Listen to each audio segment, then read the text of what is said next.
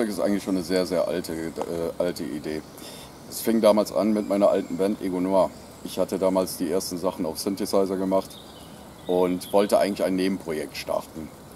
Ursprünglich war der Gedanke, dass ich eigentlich zwei Projekte machen wollte. Das muss ich direkt mal vorwegnehmen. Es gab einmal das Projekt Bluesberg und es gab einmal das Projekt Lurid.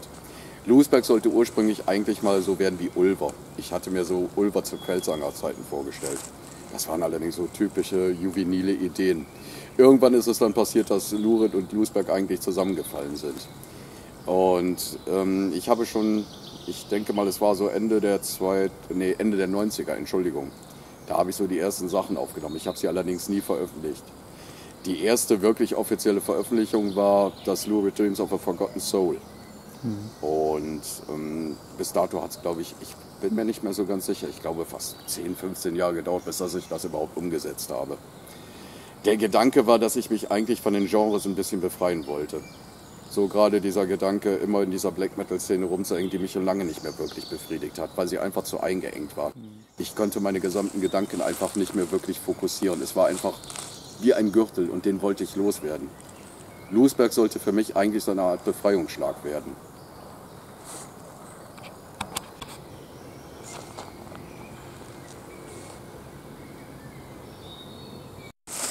Ja, genau wie damals bei Egonor sind für mich Musikaufnahmen immer Momentaufnahmen. Das heißt, gerade wie ich mich fühle, so nehme ich auch die Musik auf.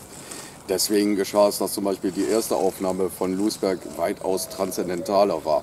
Während die zweite, das war eine Split mit Urukai, ähm, mehr so in dieser Richtung, ja, fast schon folkmäßig war. Es war eigentlich schon eine Form von folkmäßigen Ambient. Es war einfach die Zeit dafür da. Als ich dann die zweite Aufnahme gemacht habe, war es eine ganz andere Gefühlssituation, in der ich drin war sie hatte wieder dieses leicht transzendental, auch wenn ich dieses Wort wirklich nicht mag, weil ich denke mal, da kommen wir später noch mal zu, ähm, weil es mir ein wenig zu esoterisch klingt. Dazu kam danach Wintergemälde. Wintergemälde war eine ganz, ganz spontane Idee. Ich bin damals durch einen Schneesturm gegangen. Ich ging damals ähm, Richtung ähm, Cornelien Münster. Und zwar ging ich den Fennbahnweg entlang. Übrigens, die ganzen Soundaufnahmen sind auch dort entstanden. Und da kam mir einfach diese Idee.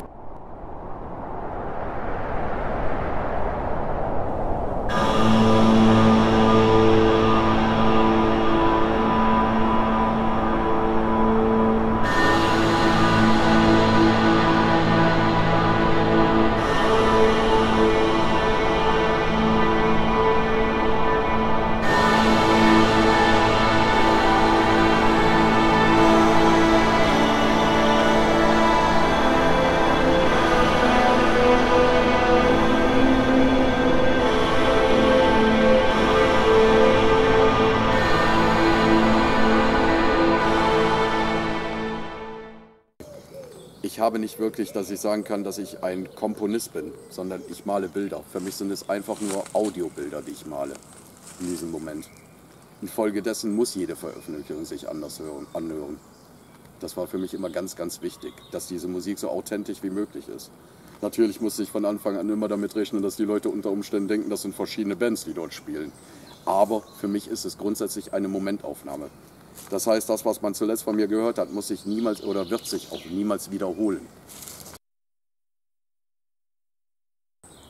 Ich mhm. habe also kein Problem mit Lyrics, sondern es muss auch zu der Musik passen. Infolgedessen, wenn man sich die einzelnen Veröffentlichungen anhört, wäre jeder Text vollkommen überflüssig und teilweise auch sinnlos gewesen. Man würde den Zuhörer eigentlich nur rausreißen aus den wirklichen Gedanken, die er in dem Moment hat. Und das wollte ich einfach nicht.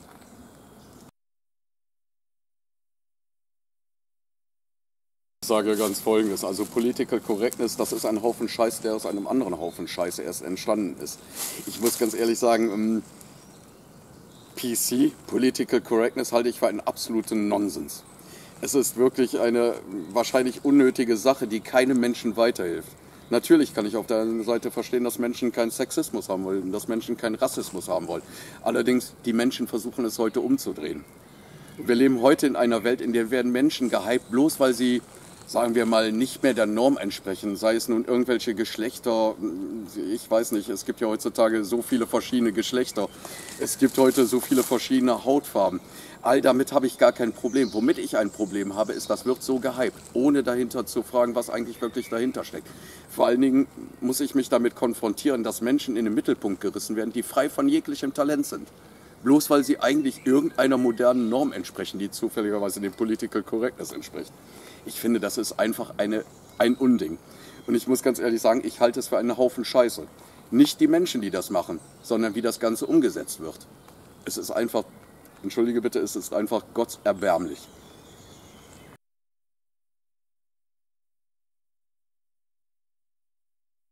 Zur Musikindustrie als solches, ich finde sie mittlerweile sehr, sehr kompliziert. Ich kann mich noch an Zeiten erinnern, da hat man einfach ein Demo aufgenommen. Man hat es untereinander getauscht. Heutzutage muss man wirklich zig Webseiten haben, sei es Instagram, sei es Facebook, sei es eine eigene Webseite. All das ist mir absolut zuwider. Ich möchte meine Musik nicht einfach leer laufen lassen. Sprich, natürlich, ich bin ein Mensch. Und wenn ich Musik rausbringe, möchte ich natürlich auch eine Form der Beachtung haben. Aber ich verweigere mich. Ich verweigere mich, mich mich mit Tausenden von Menschen anzubiedern, wie es die heutige Zeit quasi erwartet.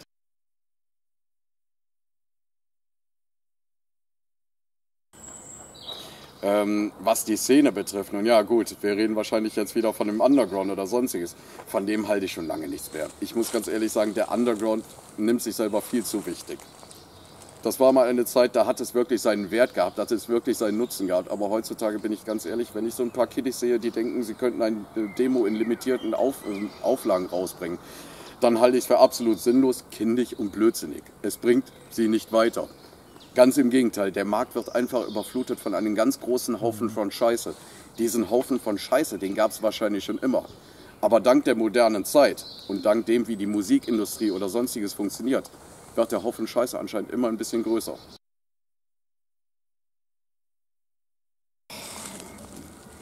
Also ich trenne es ein wenig. Das Spirituelle, das ist natürlich etwas, das hat schon seinen Wert. Ich schaue mir nur buddhistische Mönche an. Ich schaue mir natürlich auch andere Menschen an, die wirklich ganz tief darin verwurzelt sind. Aber bleiben wir doch mal ganz ehrlich. Das meiste Spirituelle, das meiste Religiöse ist absolut verzichtbar. Und wir leben heute in einer Zeit, in der uns das nicht weiterbringt. Ganz im Gegenteil. Ich glaube zum Beispiel, dass Religionen für uns die größten Stolpersteine sind, die wir noch haben. Ich verweigere mich jeglicher Religion. Ich bin ein Atheist und ich möchte darauf hinweisen, ich bin wirklich ein Atheist. Ich bin kein Mensch, der sagt, ich glaube nicht an Gott, sondern ich bin ein Atheist und dafür gibt es für mich einen ganz großen Unterschied. Ein Mensch, der sagt, er glaubt nicht an Gott, der hat damit eigentlich nur einen anderen Glauben. Er sagt, er möchte nicht an Gott glauben, ohne zu wissen, warum.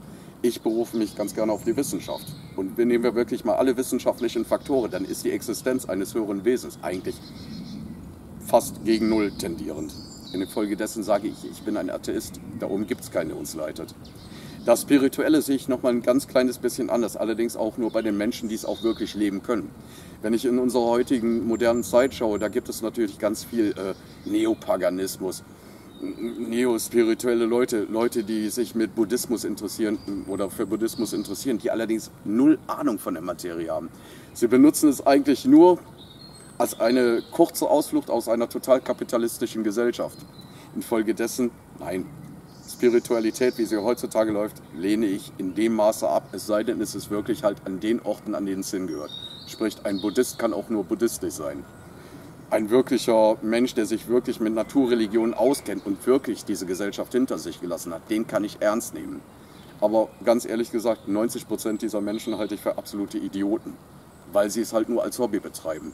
Und das nervt extrem an ich kann auch heutzutage, wie ich es früher noch in alten Zeiten getan habe, auch mit meiner alten Band, mich auch nicht mehr mit dem Paganismus anfreunden. Wir sind darüber hinaus und wir sollten endlich lernen, dass wir daran vorbei sind. Es ist der größte Stolperstein, den wir in dieser Gesellschaft eigentlich noch haben, Religion.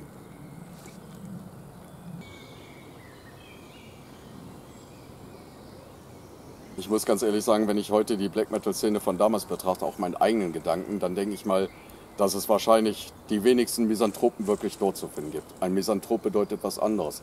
Ich würde heute sagen, ich bin wahrscheinlich heute mehr Misanthrop denn je. Ich hasse keine Menschen, ich komme noch nicht besonders gut klar auf sie. Ihr ganzes Verhalten, ihre ganze Irrationalität, sie macht mich einfach krank. Das bedeutet nicht, dass ich gerne Menschen umbringen würde. Bleiben wir mal ganz realistisch, das wollte auch damals nicht wirklich jemand. Außer die paar Irren, die gemacht haben. Ich möchte jetzt keine Namen nennen, die heute mehr zu Kasperle der Politik geworden sind. Aber ganz ehrlich gesagt, Misanthropie halte ich für ein Gerücht bei den meisten. Ich behaupte von mir allerdings wirklich einer zu sein. Was Philanthropie betrifft, hm, auch das halte ich für ein wirkliches Gerücht. Man kann nicht jeden Menschen lieben. Man kann keine Liebe zu den Menschen haben im Allgemeinen. Das funktioniert so einfach nicht. Das geht nicht. Ich halte es wirklich für ein absolutes Gerücht.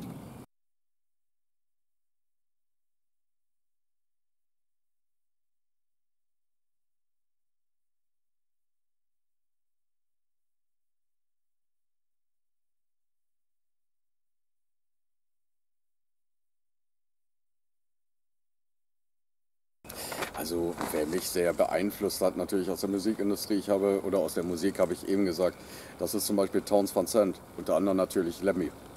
Jawohl. Ähm, das hat natürlich nicht nur etwas mit der Musik zu tun, sondern auch mit, ihrer Persön mit ihrem persönlichen Umgang. Mit ihrem persönlichen Umgang, mit ihrer Kunst, mit der Art, wie sie gelebt haben. Das hat mich schon sehr beeinflusst.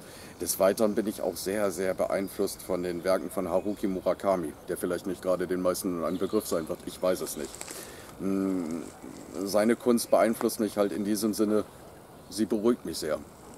Und ich muss ganz ehrlich sagen, ein Teil davon schlägt sich auch wirklich auf Lusberg nieder. Wahrscheinlich sogar, dass mir dieser Autor wahrscheinlich mehr hm, Input gibt als die meisten Musiker. Zur Natur gibt es einen ganz, ganz großen Zusammenhang. Für mich ist äh, Natur so etwas wie ein, wie sagt man noch damals so schön, ein Born der Kraft und der Ruhe. Hier bin ich für mich alleine, hier kann ich absolut ich sein. Was Meditation betrifft, nein, ich bin kein großer Meditationskünstler. Ich bin ganz ehrlich, meditieren kann ich am besten mit einer Flasche Bier und guter Musik in der Hand. Das ist es, was mich wirklich auch hm, runterbringt, auch vom Stress des Alltags. Ich würde sagen, Lusberg ist Nummer eins. Ich nenne Lusberg ganz gerne ganz pathetisch mein Seelenkind weil es für mich einfach äh, von vornherein den größten Wert hatte. Dort lege ich alles rein. Dort sind die stärksten Emotionen drin. Ansonsten möchte ich ungern irgendwie kategorisieren oder irgendwelche Stellenwerte angeben. Alles, was ich mache, mache ich entweder mit Herz oder ich mache es gar nicht.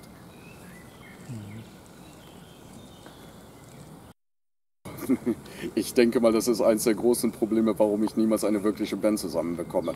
Ähm, ich würde immer mit Gastmusikern arbeiten, aber niemals als feste Band. Grundsätzlich, ich bin ein absoluter Chaot. Wie ich eben schon sagte, das, was mir gerade einfällt, das nehme ich auch in diesem Moment auf. Es gibt einfach ganz unterschiedliche Momente, in denen ich mich zum Beispiel hinsetze. Nehmen wir einfach Death of Humanity. Death of Humanity ist eine reine Aufnahme. Es ist einfach ein, ein Produkt, Zufall, Schicksal, egal wie man es nennen wollte. Ich habe es einfach mit einem Mikrofon aufgenommen. Ich habe mein Mikro daneben gestellt und habe einfach gespielt. Ich habe zwei, ich glaube, wie lange war das Stück? Knapp 25 Minuten habe ich es live eingespielt. Man kann nicht wirklich sagen, dass dahinter hm, die typische äh, Aufnahmetechnik steckt. Ich nehme es auf, so wie es gerade in diesem Moment kommt.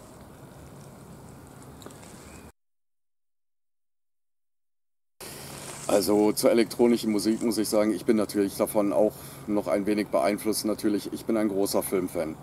Ähm, dadurch kam ich schon sehr, sehr früh in den 80er Jahren natürlich mit Bands wie Tangerine Dream, die ganz viel für Filmmusik gemacht haben, äh, kam ich in Kontakt. Mich hat diese Musik damals sehr bewegt. Sie ist treibend, sie ist fließend, sie ist sehr authentisch.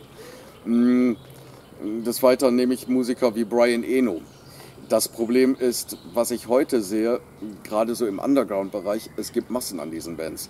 Sie setzen sich hin, sie bekommen von Mami und Papi vielleicht ein Keyboard geschenkt, halten eine Minute lang den Finger drauf und nennen das Ganze am Ende Ambient. Es ist eigentlich seelenlose Musik.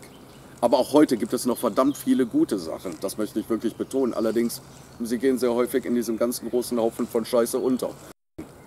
Ich würde gerne mit Lusberg live spielen, allerdings würde ich keine meiner Stücke das würde schon technisch gar nicht funktionieren. Ich bräuchte noch zwei oder drei Keyboarder, die mir dabei helfen. Ähm, ich würde ganz gerne eine Performance machen. Ich möchte hier allerdings die Performance von einem normalen Konzert unterscheiden. Das heißt, ich würde mh, mm, etwas ähm, errichten, das quasi eine Theateraufführung wäre und würde dabei live spielen. Allerdings würde ich etwas machen, was man nicht wiederholen kann. Ich hasse es, wenn sich Bands andauernd wiederholen müssen. Das funktioniert gut bei Rock- oder bei Metal-Bands. Allerdings beim Ambient kann das nur totlangweilig werden. Gerade speziell im Underground, gerade weil es halt so ein bisschen aus dieser ähm, Black Death Metal Ecke herauskam, gibt es dort ganz viele Musiker. Naja, okay, ich meine, wir müssen jetzt keine Namen nennen, die es schaffen, innerhalb eines Jahres mindestens 10 bis 12 Werke rauszubringen. Dass da natürlich ähm, mindestens die Hälfte, wenn nicht sogar weitaus mehr, Nonsens ist, darüber müssen wir uns nicht unterhalten. Infolgedessen, gerade was den Underground betrifft, suche ich mir da die Sachen, die ich hören möchte, auch ganz, ganz genau aus.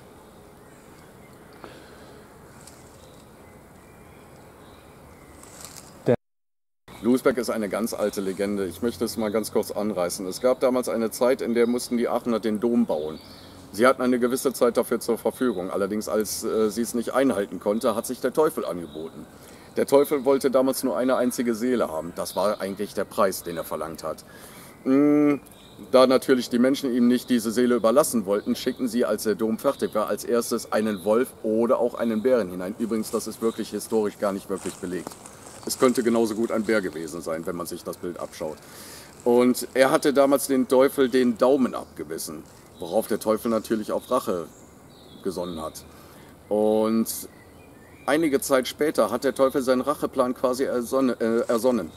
Und er nahm sich einen riesigen Berg mit Sand und wollte Aachen darunter begraben. Als er gemerkt hat, dass seine Schuhe nicht mehr mitmachen wollten und er langsam müde wurde, da setzte er sich hin und auf einmal begegnete ihm eine alte Dame. Diese Dame wird in der Legende die Aulus genannt. Lus bedeutet so viel wie im alten Aachener Dialekt intelligent, sehr gewitzt, eine kluge Frau. Sie hat den Teufel erkannt und als der Teufel sie fragte, wie weit es noch bis Aachen ist, obwohl er quasi kurz davor war, hat sie ihm gesagt, dass es noch viele, viele Meilen ist, worauf der Teufel sehr wütend wurde, weil er wollte einfach nicht weiterlaufen. Also hat er sich diesen Sack voller Erde genommen, voller Sand und hat ihn auf den Boden geschmissen, kurz vor Aachen. Kurz vor Aachen steht nun der Lusberg. Das ist eigentlich der Sand des Teufels.